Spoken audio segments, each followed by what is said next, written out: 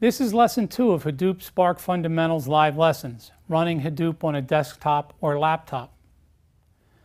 A real Hadoop installation, whether it be local cluster or in the cloud, can be difficult to configure and possibly an expensive proposition. In order to make the examples of this tutorial more accessible, you learn how to install the Hortonworks HDP Sandbox on a desktop or laptop. The Sandbox is a freely available Hadoop virtual machine that provides a full Hadoop environment, including Spark. You can use this environment to try most of the examples in this tutorial. In this lesson, you learn how to install Hortonworks HDP Sandbox using Oracle VirtualBox. By the way, HDP stands for Hortonworks Data Platform. If you would rather learn about Hadoop and Spark installation details, we will also do a direct single machine install using the latest Hadoop and Spark source code.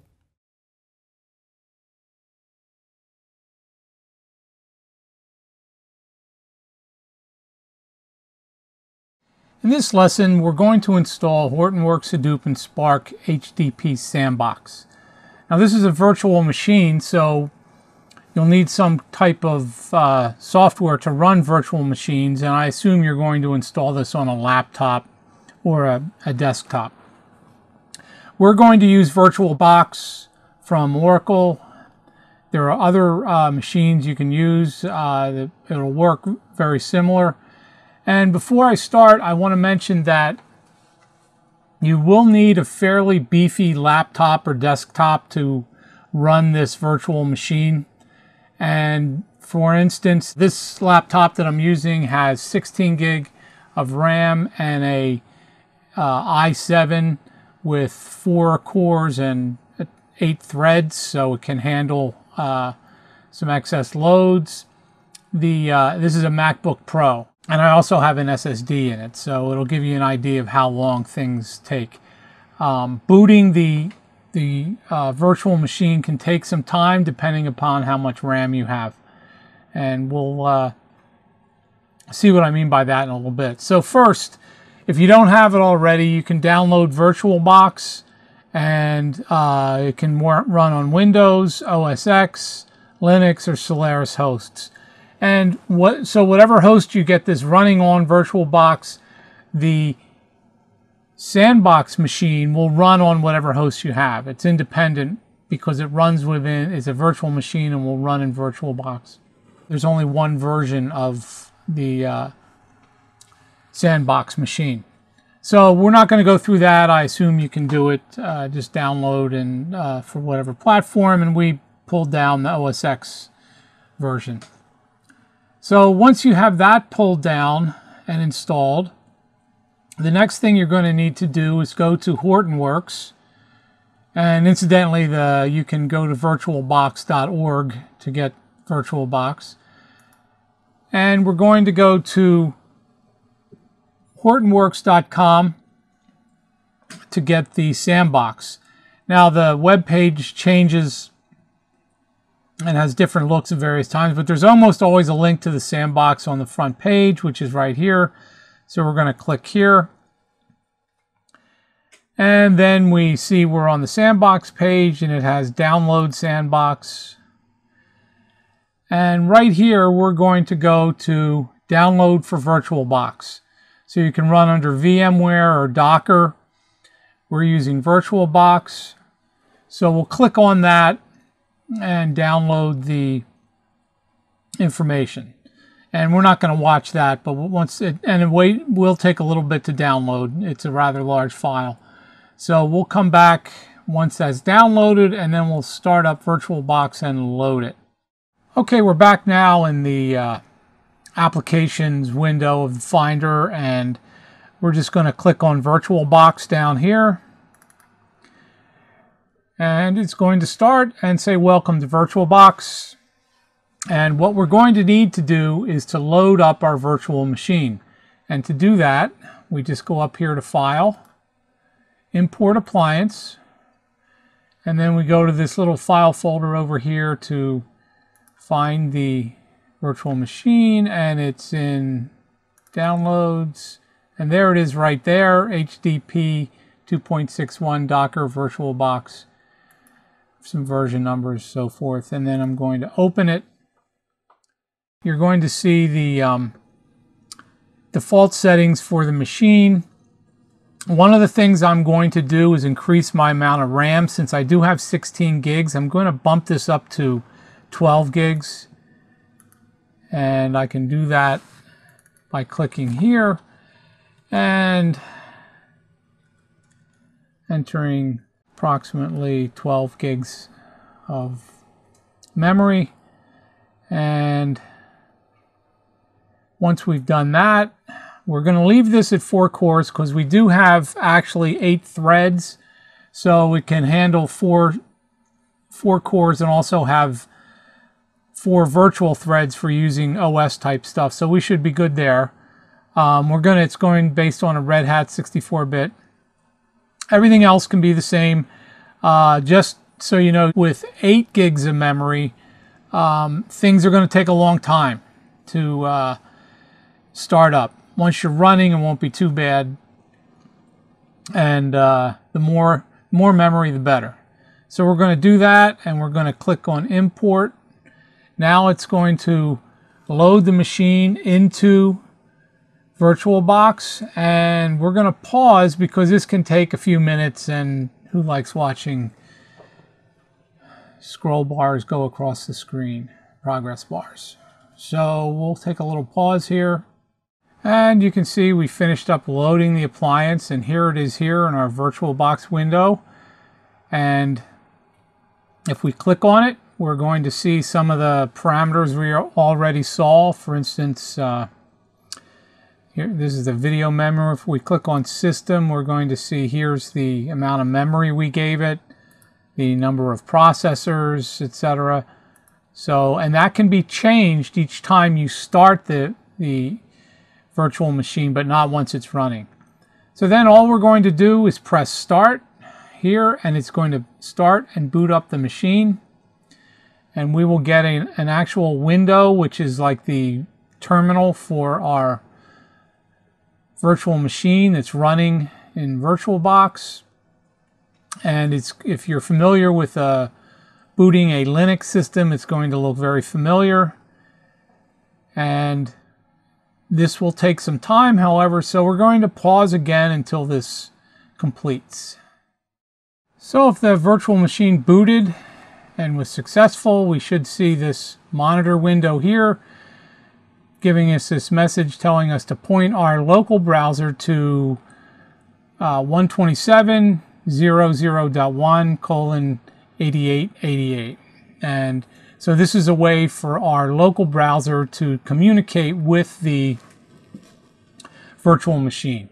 So let's do that and we'll go back to our browser here and I've already done this so it shows up in my browser and I'll just click on that. So here we are at that port 8888 and if everything worked correctly, you should see this screen that looks like this. And there's one side here you can click on New to HDP, which we're not going to do right now. However, if you're interested in exploring it, it's certainly a, a nice tutorial to take a look at. The other is Advanced HDP, and we're going to use that just so we can explore a few quick links. And we'll click on that. So the first thing we're going to click on and, and take a look at is Ambari. Now in later lessons we're going to take a real big look on how to install Ambari and use Ambari on a cluster. But here we're just using it as part of the virtual machine, so it's only for one node. But in any case, it can be very instructional just to see what it, what it looks like. So we'll take this, click on this one, and here's the address. It's the same URL except for a different port. And we notice that the password and username is Raj underscore ops. So let's do that and take a look. And so we're going to sign in now.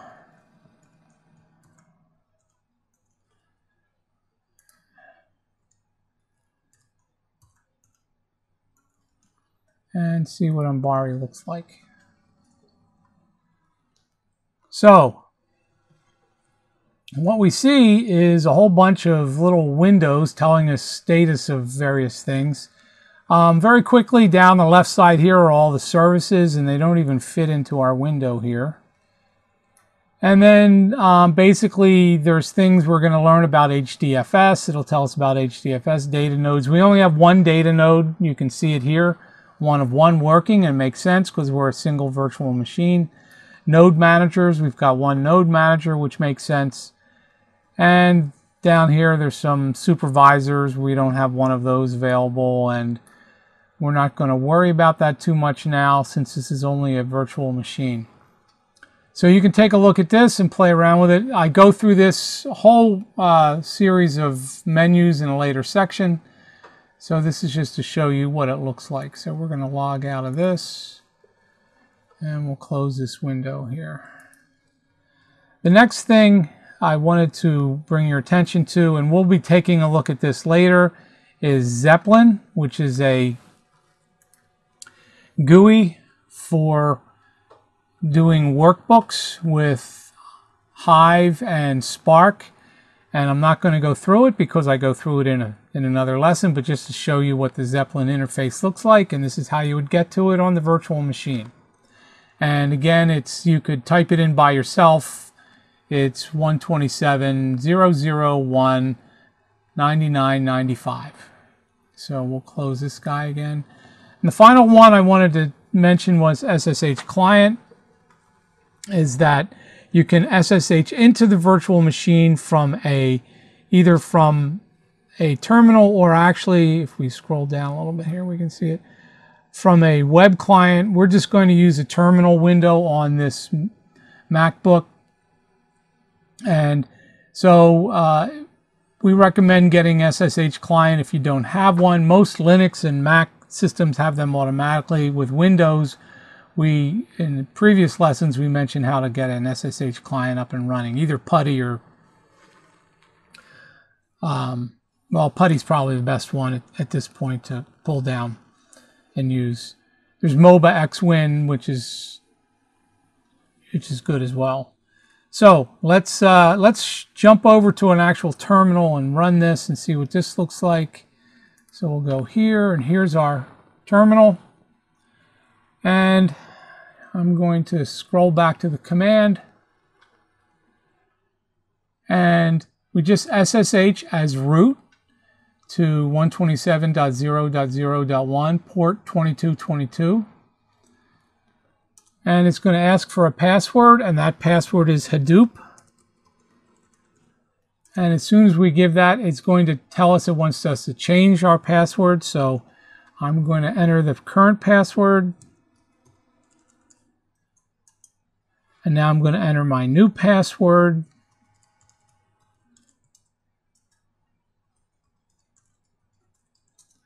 And there we have it. We are now able to access the sandbox through an SSH term on our laptop. So let me clear this window and to prove to you that this is actual running Hadoop installation, HDFS, DFS, dash ls slash and that's just we're going to list the uh, HDFS file system and there it is and we can see on the left side here all the directories that we would expect from a Hadoop installation and again as I mentioned we're going to go through this kind of installation in full with Ambari but this is we can see we've got data in HDFS it's up and running we've only got one single data node but that's fine. It's enough for us to do a lot of the exercises that we're going to do in all these lessons. So a few more uh, URLs I wanted to point out that aren't in the uh, startup window there. And let's go back here. So another one I want to point out is the um, if you actually want to see what the name node or the Hadoop file system window looks like. So there's a URL for that. So it's 127. And the port number is 570. And again, it's just the same one, 127.0.0.1 colon 570. And that gives us our overview of HDFS on this in this virtual machine. And you can see here, we don't have configured capacity. We have 41 gigs, so we're not going to be doing any big data with this system, although that's plenty enough to, to learn a few things. And you can, we're going to go through this again, this interface later, but just to show you that it's available. And then one more, the uh, Yarn Jobs Manager, that we can get to through port 8088. And here's all applications. And as we run jobs, they'll show up in this window here just to show you that when later and later on when we talk about some of these interfaces, here's how you get to them. And they all just use the local port, local host name, IP, and various port numbers. There are some other things you may want to explore here. However, at this point, we're convinced that the, let's go back here, that our virtual machine is up and running. And what we need to do is, to complete this lesson, is shut it down. And to do that, we just close this window. And we can do three things, save machine state, send the shutdown signal, power off the machine. So we're just going to power off the machine at this point. Click OK. And if we go back to our virtual box, you can see the machine's powered off. And if you want to start it again, you just hit start. So as you could see, we're able to do some things on the, the laptop while the virtual machine was running by virtue of having plenty of memory. So I want to make sure I emphasize that. 16 gig at a minimum really makes it usable. So with that, we'll conclude our lesson on installing VirtualBox and the Hadoop's Sandbox virtual machine.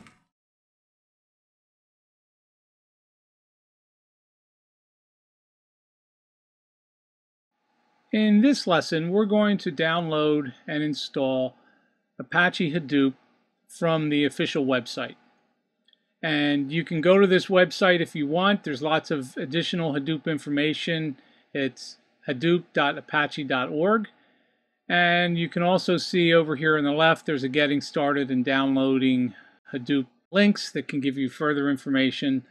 And it, in addition to Hadoop, uh, this lesson is going to include installing Hive and Pig at the end. So the, we're actually doing a little bit more than the typical Hadoop install.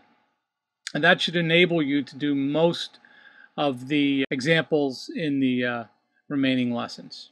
Okay, so let's hop over to a text, two text windows actually, and get started installing our software. Okay, here we are. We have a uh, one text window here on the right, and I have another working window here on the left. And what we're going to be doing is following along. This is the notes file for lesson 2.2 that you can download all these files and um, code from the um, additional material so you don't have to stop, pause, cut and paste, or type things in you can cut and paste directly from these files, which is partly what I'm going to be doing in this lesson to speed things up so you don't have to watch me mistype things.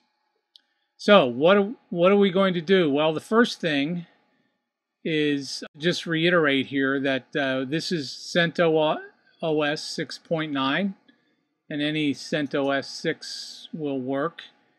And then this is version 2.81 of Hadoop. This is the latest version as, as of when I made this video. So the first thing we need to do is download the package and to do that we're going to use wget which is available on almost every Linux installation and that's just going to go to the website pull down the file Hadoop 2.81 tar.gz and we're not going to do that because why have you watch me download a file is not a very good thing to do. And we are going to extract the package into slash opt. And if you don't have opt on your distribution, you can make it using this command. It's simple enough, but it's probably already there. And this could be actually any directory you choose to run this. These commands should be done as root. I have to emphasize that uh, because we're doing some major installation things across the system. And a lot of this is going to be done by a script, and I also have a cleanup script so that you can undo everything that we've done here, and I'll show those in a minute. So the first command we're going to run is this command to extract Hadoop 2.8.1 into slash opt. So let me just copy that here and go over to our working window and just to show you in this working window we've got a directory called files that has some of the setup files that the Hadoop script will use. We have a Hadoop setup script that's going to go through a lot of the tedious stuff we need to do. The notes file, which we have in this window over here. There's our notes file that we'll be scrolling through. And then a cleanup script, as I mentioned. So the first thing, let me clear this off. The first thing we're going to do is extract our downloaded file into opt. And there's our command. And we're going to cut and come back when this is all done. Okay, we're all done. And let me just clear this off so we have a nice clean clean screen. And let's go back to our window here. So what we've done thus far is just extract the software and the next thing we want to do is make sure that we're, we've got OpenJDK 1.7 installed. There is a location on the Hadoop wiki that tells what are the best Java versions to use. The OpenJDK is part of the Red Hat Enterprise Linux, CentOS, Scientific Linux, or other rebuilds the uh, there is Java 1.8 available, however, it's not recommended yet in, in the wiki. So we're going to stick with 1.7. So these are the two basic RPMs you need to have installed. And in order to install them, if you don't have them, you can use this command right here and it's in the notes and it's just using yum and this again has to be done as root and you're installing these two packages to make sure that uh, you're using the right version of Java. And then we're going to want to make sure that we are using the correct Java path, and that's this path right here after the packages are installed. And to do that, it's very simple. simple. We're just going to use this command here and we're going to paste it into our working window here. And all this command really does is this line export Java home, which is a, a environment define, and it's giving the path to our version of Java, and it exports that or writes it to etcprofile.d, java.sh, and that's basically going to, every time we log in, that is going to get run. So we get this basically predefined for us. It's just a convenience thing. I didn't include this in the script because this may change for your installation and it's just something that as an administrator hopefully you only have to do once. And then there's one other define and that's Hadoop Home that makes this is a Again, a convenience thing, and it's basically saying our Hadoop home is right here where we just extracted our files. So this command, again, copy, go over to our window, paste it in, and run it, and we're good. One more thing to do, and that's right here. We'll run both of these commands at once. We're going to source those commands, those little shell scripts, because they will get run when we log in. So since we're already logged in, we'll just use the source command and run them now. So we'll do that. And we're pretty much good to go at this point. Let's clear this off. So if we wanted to check our profiles, we could, for instance, env, pipe that into grep, search for Hadoop, and there's our define we just put in there. So uh, same thing will be for, for Java Home. Now, there are two ways we could go at this point. And there is the script method and there's the by hand method. Both of them do exactly the same thing. Uh, obviously, the script's a lot easier. So what I'm going to do is go through the steps that the script performs and then run the script. These can, again, can be done by hand, basically just admin commands that need to be run. And I'll go through them real quickly and setting up some config files.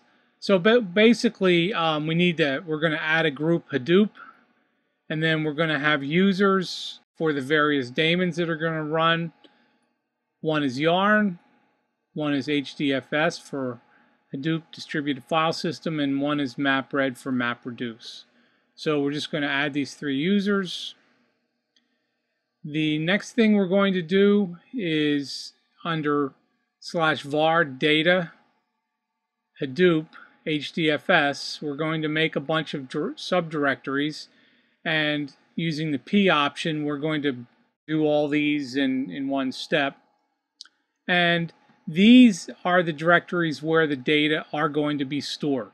So if your var partition on whatever system you're using is really small, you may fill it up with data rather quickly if you're trying some different things with Hadoop. If it's larger, you shouldn't have any problem. Again, it's a single directory where all the data are going to go. And the other thing, once we get these directories made, we're just going to change the ownership right here. And that's changing it to the group Hadoop, and the owner is HDFS. And I'll mention this again, but in Hadoop, HDFS, the user HDFS, is like root on a Linux system or Unix system. So HDFS is who has total control over the Hadoop distributed file system. One other tiny step we have to do, and that's just uh, make a log directory, the logs directory in our Hadoop distribution directory. And we just do that here and we give it owner yarn and group Hadoop. So once all that's done, the way that Hadoop is actually controlled and gets options all the Hadoop components are through a set of core XML, well, a set of XML files. And for our purpose, these are going to be in opt Hadoop 2.81 slash etc slash Hadoop. Now what we'll see in when we do some other installs using Ambari, these are actually going to be in etc slash etc slash Hadoop. And uh, some further further directories that uh, they're really at the top of the system. These are embedded basically in our install directory, which is convenient because we can install different versions and different things and try different settings and different versions and not be stepping on each other if they were actually in etc Hadoop. So there's a bunch of files here. We have to set some things up. core-site.xml uh, basically we have to give a port number for talking to HDFS. And we'll go through these. Uh, there's another one. Here's the hdfs-site.xml, and this is what sets all the HDFS information. And what I want to point out here is there's a parameter called DFS replication.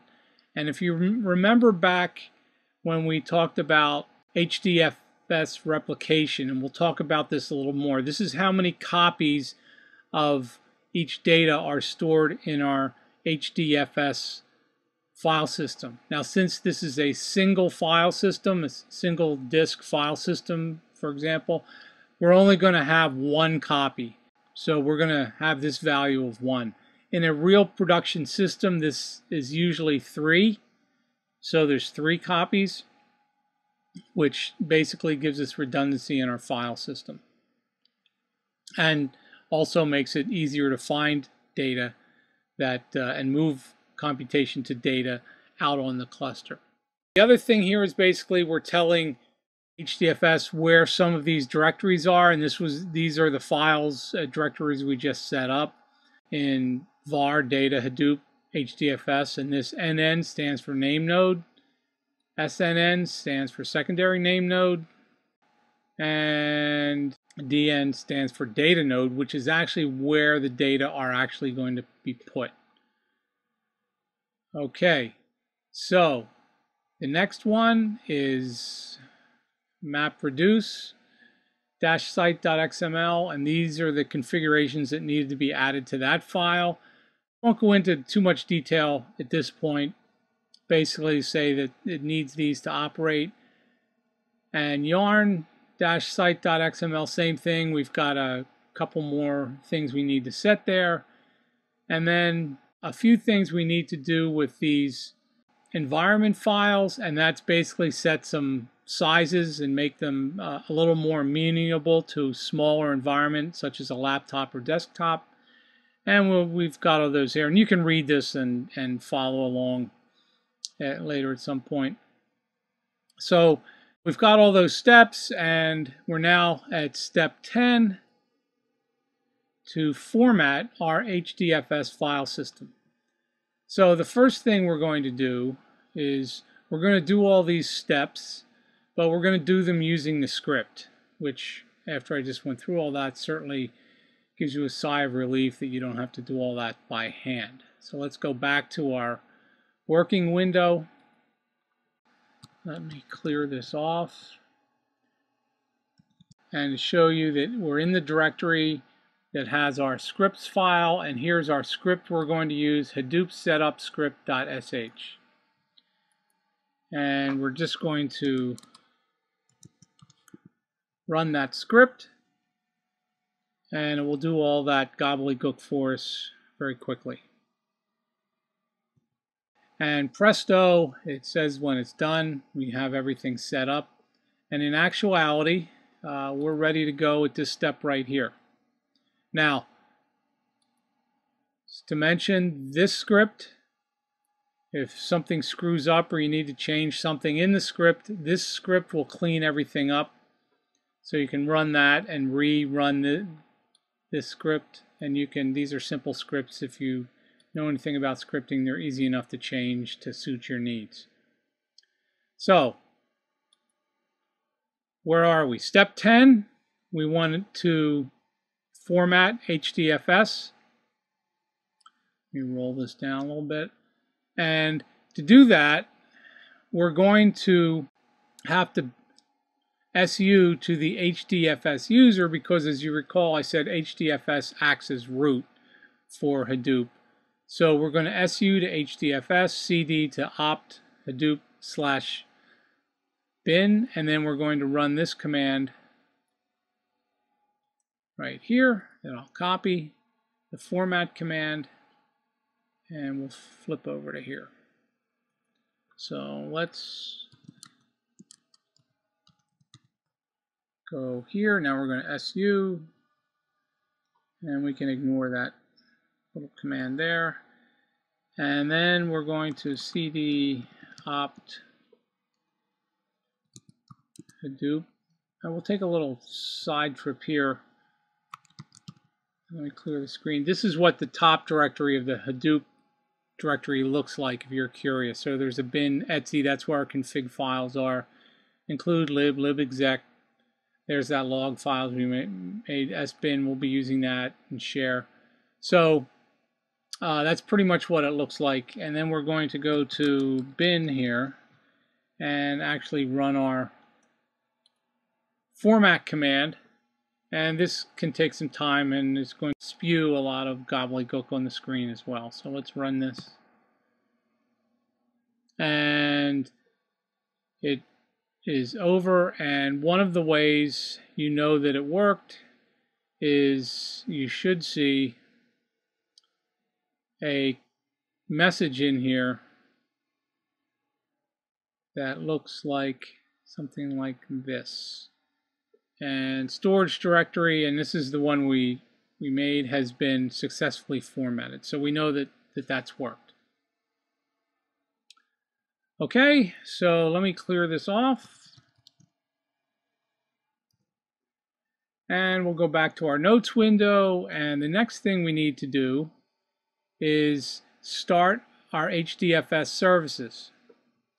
And we're going to move over to the SBIN directory. And then we've got all these commands here that we're going to run. It's going to start the name node, the secondary name node, and the data node. So these are three of the essential daemons that need to be running to have an effective HDFS installation. Multiple data nodes are what are used in a cluster so you can store data across data nodes. So they communicate to the name node across the cluster back and forth. So let's grab these here. So I should, and these are Java processes, so we're going to start them and if all goes well, that they should work fine. So let me do them one after another. And I forgot to move to bin, so let me, oops, clear this off. I mean, move to sbin. There we go. Now we should be okay. So we're starting the name node, and when it starts, it'll give a message that it's done and tells you where the log directories are and we'll talk more about these later. But generally, if you're having trouble with any of your daemons, they all log to various directories, and usually when they start, they'll give you the path to the directory.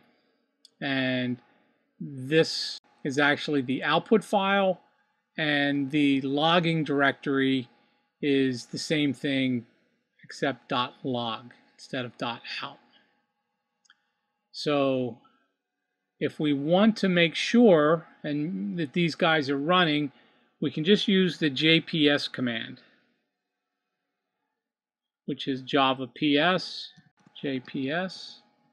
And we see that we've now got name node, data node, secondary name node, the three services that we started, they're now running. All good news, and we've actually got a HDFS file system up and running. Uh, on our Linux installation. So let's clear that off. And the next thing we're going to do is just let, I want to let you know that the way to stop these services, and this was the start, you know, they all have the start command here, is to run them with the stop command. Same argument here. Now again, these have to be started and stopped as, a, as user HDFS. So if you're finding they're not stopping or they're not found or something, check, check that you're using the right user. And that's how you can shut these down. And by the way, the cleanup script does not shut these down. That's something that uh, you have to do on your own or reboot the system if, if you so desire. The one other thing we have to do is uh, we've got a couple of HDFS commands. We've got to run. And these are to make some directories in the actual HDFS file system. And we'll just do those real quick. So this is an HDFS command. And what we're going to do and this is actually kind of a nice confirmation that HDFS is working. So we're running these. HDFS is the command that says do something in the Hadoop file system. DFS says it's a distributed file system command, and here's a make dir that looks very similar to our Linux command. And here's the directory we're going to make. Now, in in uh, other lessons, we go over these commands as well, but uh, you can just follow along and see that what it is we're doing. So we're making a directory in the HDFS file system. That worked, no complaints. So let's do these other two real quick. And we copy and paste that.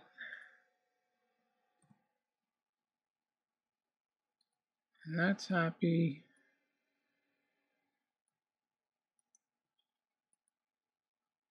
And these are basically just directories that uh, are used for the MapReduce history files. And it writes the, the history into HDFS. So that's done, that's good. Now we've got to move over and start the Yarn services, which is yet another resource negotiator, which is the batch scheduler for Hadoop. And that's going to determine what runs where, which is not a, a hard thing to do on a single node because you've got essentially one system to manage. Yeah, let's go over here, clear this. And now what we've got to do is, let's exit out of user HDFS, SU minus over to the user yarn. And we get that SSH message again. We can ignore that. And then we need to go to Hadoop sbin and we're going to grab the commands we need to run which are right here so we're going to start these three daemons the resource manager which is the overall resource management daemon the node manager that manages the specific node it's on and then the history server which will record and keep track of jobs that are running. And it's very valuable to see job history after the, job is run. So we'll do that.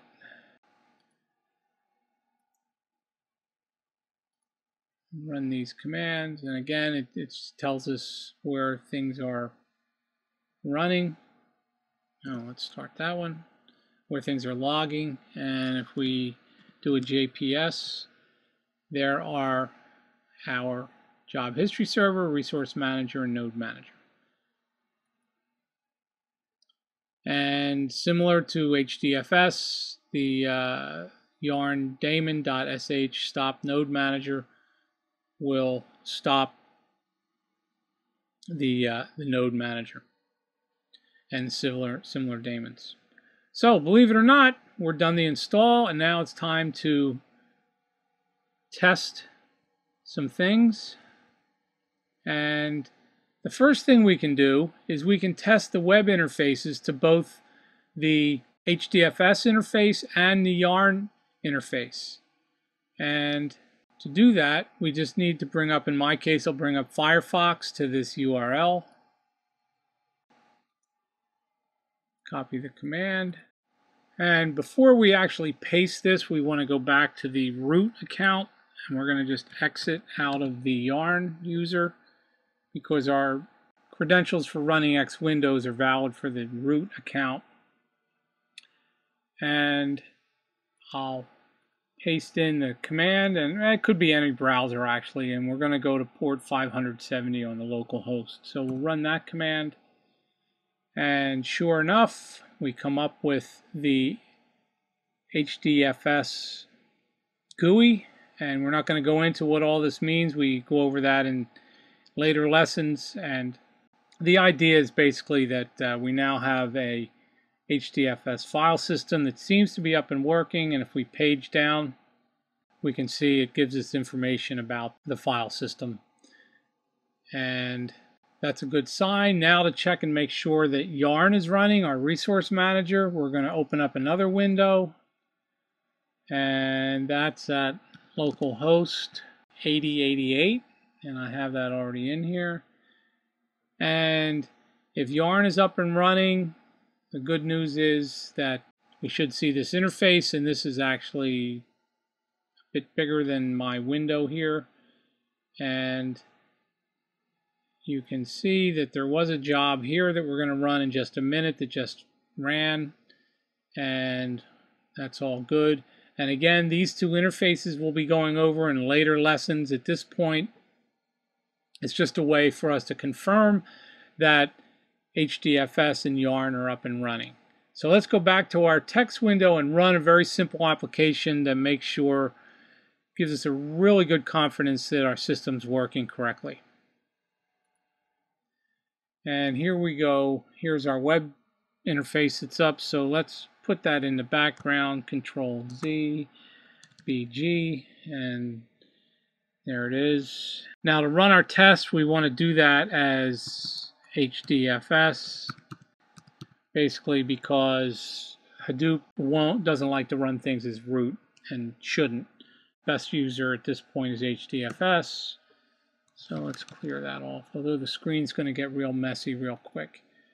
So what we need to do is run this command. We're going to set a define yarn examples, which is just a path to make our... All right, we're getting some errors from our web interface. We don't have to worry about those. It's, so we're going to use this define and it's just a path so we don't have to type such a big long command. And here is our command to test a Hadoop program in our Hadoop installation. And basically it's the Pi program that's going to calculate Pi. And it's going to use eight maps to do that. And let's run that command. And here we go. And you can see number of maps and we're going to pause right here and come back when it's done. It should only be a, a, you know less than a minute, but no sense watching this at this point.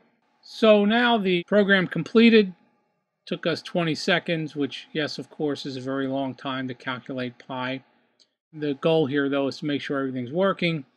And you can see the estimated value of pi right down here. And this is very good confirmation that everything's working.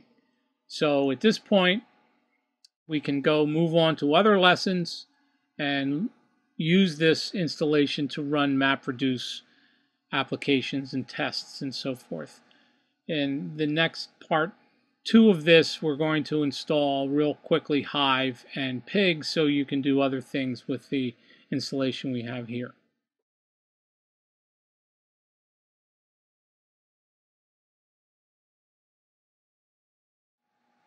This is the second part of our installation of Hadoop binaries from the Apache website on a basically a Linux laptop or desktop system. And we're going to install two packages that are very useful with Hadoop. One is called Apache Pig and one the other is called Apache Hive. And they each have their own website under the apache.org banner. And the um, installation of Pig is fairly straightforward, and in later lessons we'll learn about how to use Pig and what it's used for. For right now, we're just going to go over a quick installation of the uh, package. So the first thing we, we're going to want to do is to get version of Pig. And again, all these um, commands are in the notes file for this lesson, so you can do as I'm doing, cutting and pasting. You don't have to pause and write down commands. So uh, I'm not going to do this. You can assume this is already done. And we're using 0.17.0, the version of pig, and we would, if we executed this command, we would pull this down into temp. What we're going to do is extract it into slash opt, and in previous steps, we made sure we had an opt directory. So let's do that. There's our command. And there's our screen scrolling by. Let's clear this off. We extracted it now. And then the next thing we want to do, as we've done previously, is set up our profile.d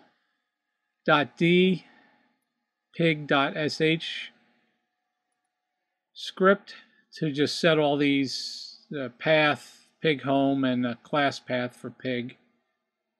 And we'll do that next.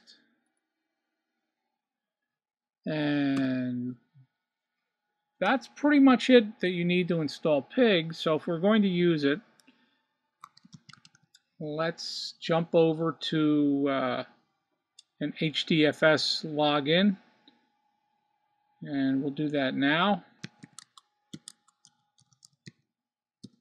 And to run pig, we simply type pig. We're going to get a lot of info messages. These can be ignored. And there's ways to turn these off that uh, if, if they really bother you. What we want to make sure we get is this login prompt called grunt, which means we're in the pig interpreter. And the, um, the pig authors have a certain sense of humor. And now you can do pig commands. So we're just going to quit out of that. And now we're back at our command line prompt. So that's pretty much it for installing pig. Very simple, and you can begin to use it right away. So let's uh, clear out of this and go back to our root. And incidentally, all these installations will be done as root. And let's clear this. Next, we're going to, let me scroll down here, install Apache Hive, which is a little bit more involved, and but not too much. And that, this should only take uh, take you a few minutes. Now, uh, if you follow these steps, again, we're going to skip the download piece. Uh, right here it is. And what we're going to do is we're using Hive version 2.3 and we're going to like we did previously with pig, we're going to extract it into opt. And there we go there. And while that's running, we'll hop back to, oh, it's done already. We will hop back to here. And similarly, we have a hive.sh to set. And we will do that here. And let me clear this off. So we set a path and we set Hive home. And we put it into hive.sh. The next thing we need to do is there's a few directories Hive needs in HDFS. So these two commands, we're going to su over to the HDFS account because that's the root account for the HDFS file system. And we're going to use, I know it's a little bit confusing, the HDFS command, dfs make dir, and here's a directory we're going to make, and then we're going to set permissions. So these two we can actually run after one another.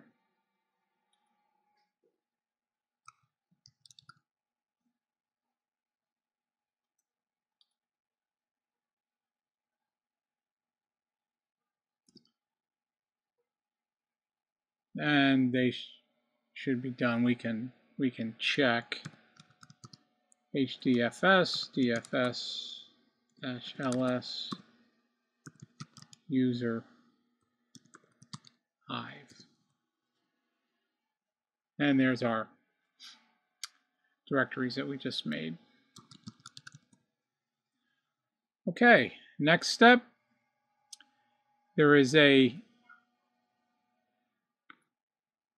hive site.xml that we need to copy into opt apache hive conf directory. This is very short and we'll do that quickly. And this this is in your files directory in the uh, notes file that is available for download. So basically what we're going to do is just enter this command not that command that we already did. Let's copy this one. And it's okay to do those again. They're not going to do anything. There we go. So we're going to copy the hive dot hive dash site XML. The uh, the contents of this file are very short, and basically this is what's in the file. And the main thing it's going to do is tell us where we can find the local Metastore database. And that's what this guy was here. And I'll explain that a little bit more in a second. And then there's one more piece of bookkeeping we have to do. It turns out that both the Hadoop install files and the Hive install files have the same library, which is the log4j for Java library. And we're just going to remove the one or move the one in the Hive directory uh, so there's no conflict. You'll get a warning saying that there's it found two duplicate libraries and if we do this we just remove that one and everything is happy. So the next thing we need to do is install a Metastore database for metadata for Hive. Now the default one is Apache Derby, which is very simple database. If you're going to be using this for multiple users, you probably want to use something like MySQL. Uh, since this is on a personal system, Derby will work just fine. And we're also using Derby 10.12.1.1. Versions 10.13 plus will not work with Java 1.7. So that's why we're using that. So the same thing, we're going to pull this down and then we're going to extract it. Whoops, let's make sure we got this. And we'll do extract it.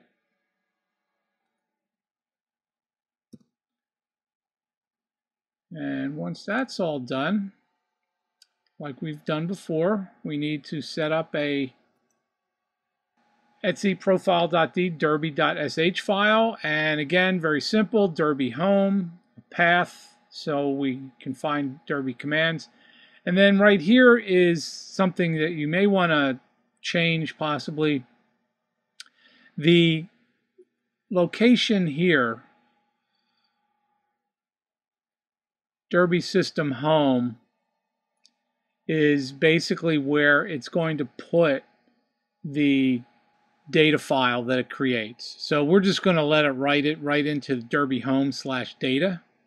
And if this would get real big, this may not be the best place to put it, but for playing around with uh, Hive, this is no big deal. So we're going to run this command.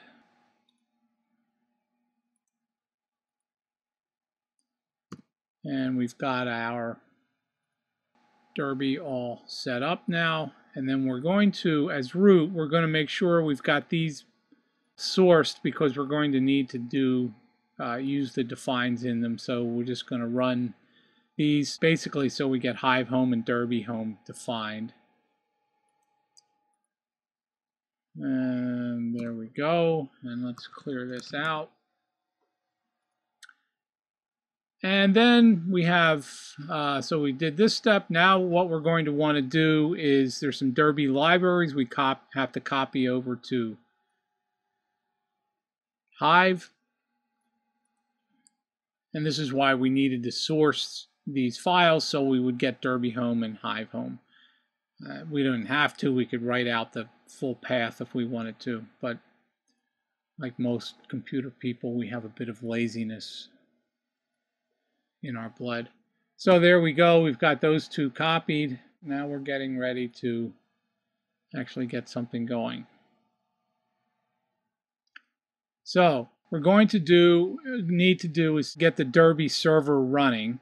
And the easiest way to do that is just to run this command here, which is going to run this command start network server on the host the uh, local host and it's going to use put it in the background and make sure it keeps running after we exit. So to do that we're just going to run this command.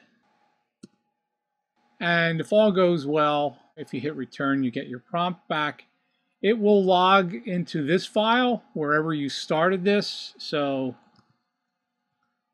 there's the file right there. So if I want to, something's going wrong, I want to see what's going on, I can look at this file here. Let's clear this. And incidentally, to stop that Derby daemon is basically this command, stop network server. So you have start network server, stop network server. Simple enough. So the next thing we need to do is run this command, schema tool, which is part of Hive, to set up the, the Hive schema using Derby. So it just does a lot of database setup, and let's run that command now.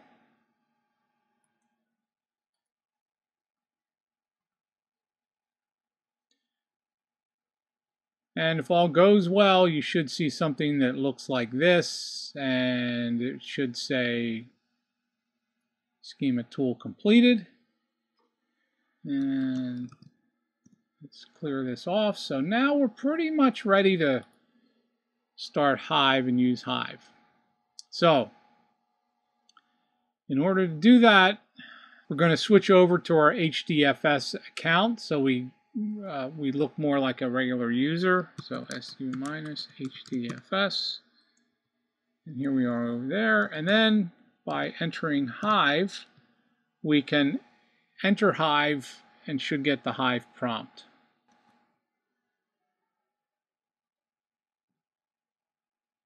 So we've got our Hive prompt and uh, a few things to note here. This issue here, which no HBase in. Uh, that's just a slight bug in this version of Hive. You can ignore that.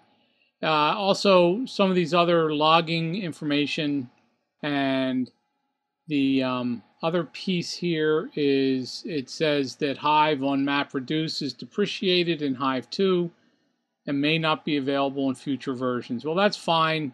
Since we're not on a cluster, we're on a single system and just want to learn about Hive, we don't really care about the mechanism underneath and MapReduce, whether be augmented with Tez or run as uh, Spark, uh, really doesn't matter to us because we're not too concerned about performance. So this is enough to um, for us to learn about Hive.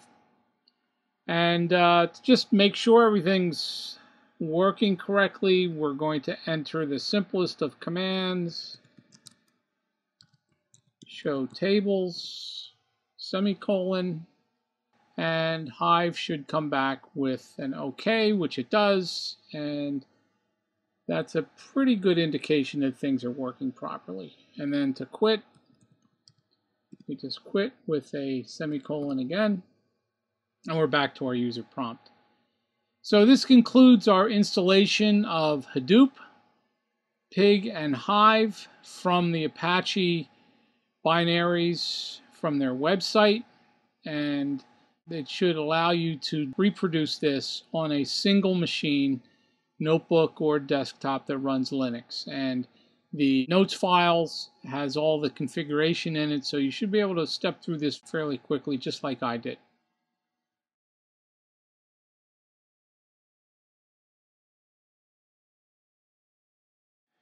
In this lesson, we're going to install Spark on a laptop or desktop system running Linux. In this uh, instance, we're using CentOS 6.9, and the Hadoop version we're using is 2.81, which we used in the previous lesson 2.2. We installed that. And we're using Spark version 2.2.0. Now, we don't specifically need Hadoop to install and run Spark. However, since we test our installation by connecting to HDFS, we're going to um, we're going to need a specify a version that we're using here of Hadoop. So to install is actually very simple, and we're going to skip some of the um, obvious steps that we've done uh, repeatedly in the other lessons, which is this one here, which is a wget, and you can check this notes file for these commands. And we're going to pull down the, the uh, Spark binary. And we're also going to untar it and in the opt directory. And if we don't have opt, we're going to make it right here. And here we untar it. And I should mention that the um, version of Spark, previous versions have been specific versions of Hadoop, in this case, we have Hadoop 2.7, and you notice that we're running 2.8. That's fine because Spark seems to work fine with Hadoop version 2.7 and above without any being specifically tailored to the ver version of Hadoop. In older versions, you used to have to kind of match it to the version of Hadoop you were using. So that's that's good news. We don't have to worry too much about that. So the first thing we need to do is after we've installed, basically extracted the files, just set Java home. And the reason this we we did this in previous lessons, now this takes a little bit of a twist because Spark requires Java 8. Now, the Hadoop version we installed in the last lesson specifically stated it did not support Java 8, although it actually kind of does in, in things that I've uh, tested. So basically what we're going to do is install Java 1.8.0 OpenJDK and the OpenJDK-devel and to make sure that we've got a version that will work with the latest version of Spark. And I'm pretty sure this this will upgrading this will work for the version of Hadoop as well that we've installed.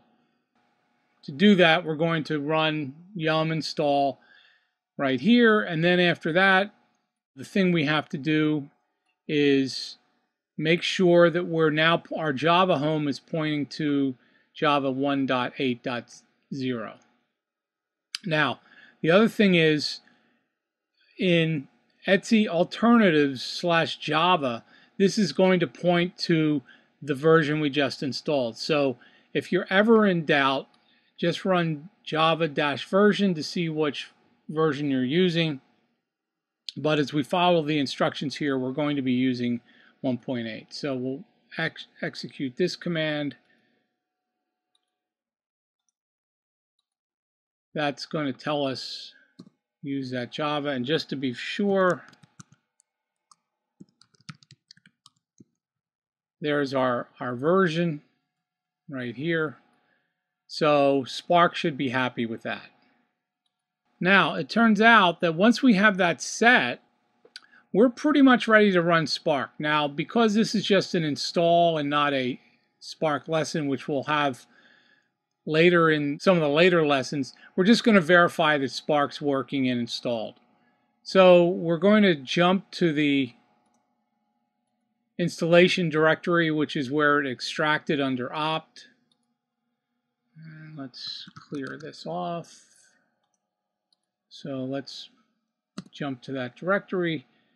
And in that directory, we're just going to run a simple Spark Pi example which is very similar in the way it calculates pi, which is a Monte Carlo method, to other Hadoop uh, tests that we've run.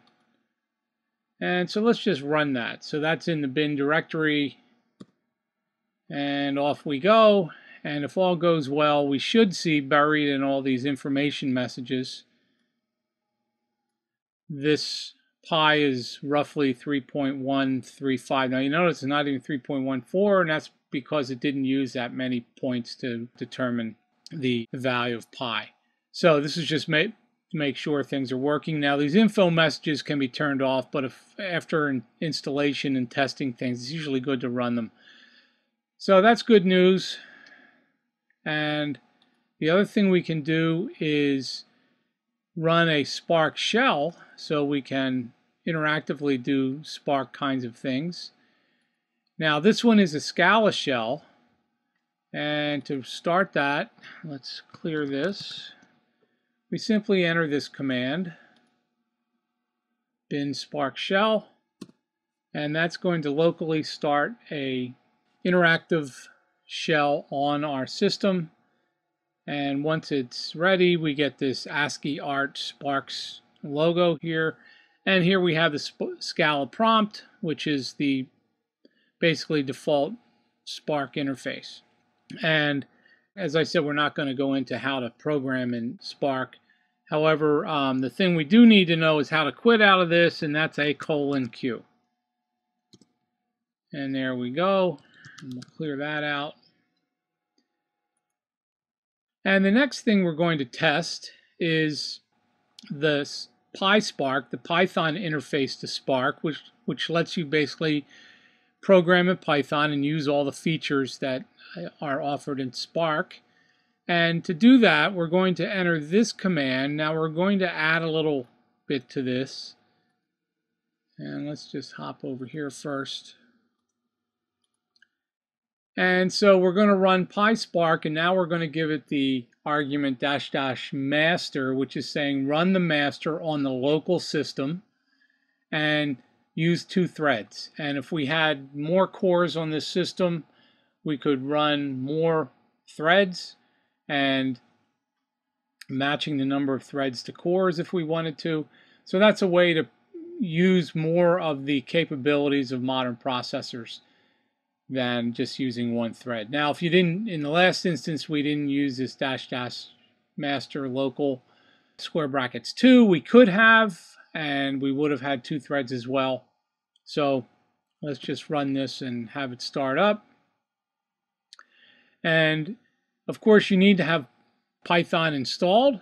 And if the Python version isn't correct, it probably won't start up correctly. And we're running 2.6 and 2.6.6 and it seems to be working okay.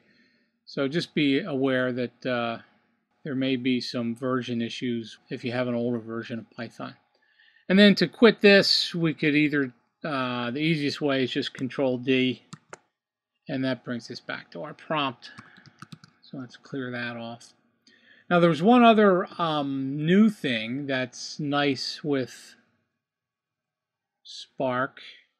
Ah, before that, we can also run our PySpark Pi example. And incidentally, th these are available for you to play with as well. So just to make sure everything's copacetic with PySpark, there we go. And it's off and running. And somewhere in here, here we go. Here's the answer, approximate value. And again, it's a Python program that does the same thing as the Scala program does. If you prefer Python, you can use that language. So let's clear this. And as I mentioned, one of the neat things is now that it's somewhat experimental, but there's an R interface. And we can start that up. And you can now program in R using Spark, Spark features. And again, we're not going to go into details of that, but just so you know that's there. And this also requires that you have a compatible version of R installed. And you, you can then check the documentation to see how to program in this. We're going to, in these lessons, mostly focus on PySpark, but just to let you know it's there and if you to test it for your installation. So to quit here, Q empty quote, empty brackets, and no, we don't want to save our workspace. We didn't do anything, and that should do do it for us. Now, after those commands, we're fairly comfortable that Spark is working and we can actually try some different types of Spark things and programs, etc. on our single node installation. If we wanted to connect to HDFS, which is usually a nice thing, then what we need to do is first make sure HDFS is started. And let's go ahead and do that using these commands here. Now notice we're going to start it using Java 1.8 and before we were using 1.7 everything should be all right and there's some notes here about uh, we're actually going to change etc profile sh to reflect that so that our default, everything's going to default to Java 1.8. So you can consult these notes if this is a little confusing to you or you, you want to double check and make sure everything's working correctly. So basically what we're going to do, these commands, and I'll just go over them quickly. We're going to su over to user HDFS. We're going to cd to the Hadoop bin directory. And then we're going to start the name node, the data node, and the secondary name node so that we have HDFS up and running. And then to make sure everything is working, we're going to put a simple file into HDFS, and we're going to use that in a second. And then we're going to exit back to root. And if you haven't noticed, uh, we've been doing all this as root, and when you actually start to run programs and so forth, it's best to do it as a user, and you can set up path names and so forth to access Spark. So let's do this quick. We'll do these two commands quickly. And so we SU to user HDFS. Now we're going to move to our SBIN directory, and if we take a look, we see that there's all these stopping and starting and daemon uh, scripts to start daemons and so forth. And all, the one we're really worried about is are these three here, which are going to start the name node, the data node, and the secondary name node. Now we did all this in the previous lesson, so I'm just going to chunk these out and run them all at the same time, one after another. And we should, if when we get done and everything's started, if we do a JPS, we should see all three of these running. Yep, there it is. And let's take a look what's actually in there in our directory. And I forgot that we need to use spell out user in the Hadoop. So there we go. And here we can see we actually have this we have two files, a password file that we used in another example, and this file distribute sh, and that's there because the next command was to put that file there, and that file is actually in our uh, directory that we're working in right now. So let's clear this. So there's the file and I'm not going to rerun the put command because it's already there and HDFS doesn't like to overwrite things. So basically I've got this file in the HDFS user directory in HDFS. And of course, it's very confusing when you have a user HDFS and the file system called HDFS. That can be a little confusing in the notes, whenever I refer to the file system, I do it in caps, and when I refer to the user, I use lowercase. So, essentially, we've got all this done, and we now have HDFS running, so we can read and write to it as we just did here. We can see files and so forth. So it's up and running. If this command didn't work or our put command didn't work, then something's wrong with HDFS. Okay, so we're going to exit out of this and go back to our where we were as root. And we're going to very simply start a Spark shell as we did previously.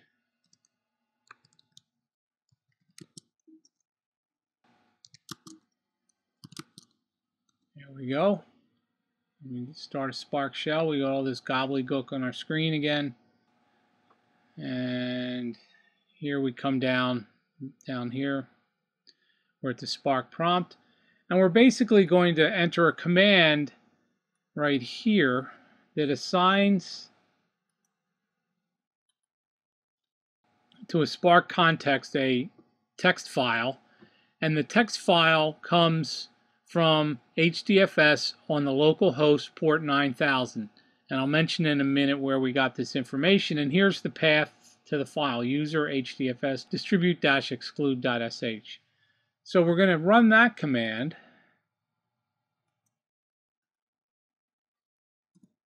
And we're going to get some response and don't really need to worry too much about it. And all we're going to do is to make sure that it worked, we're going to count the number of words in that file.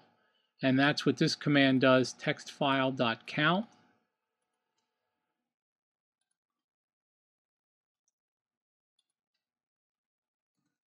And it's going to think a little bit, and then now we've got 81.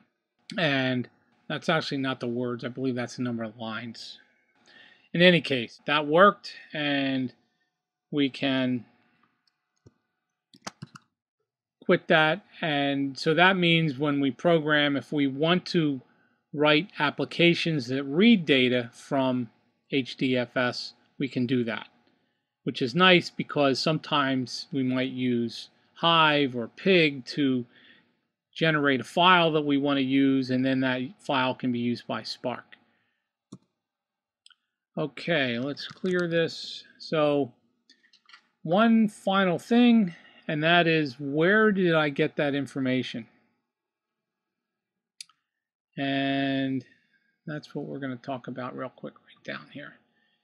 In the Hadoop install, there's a Hadoop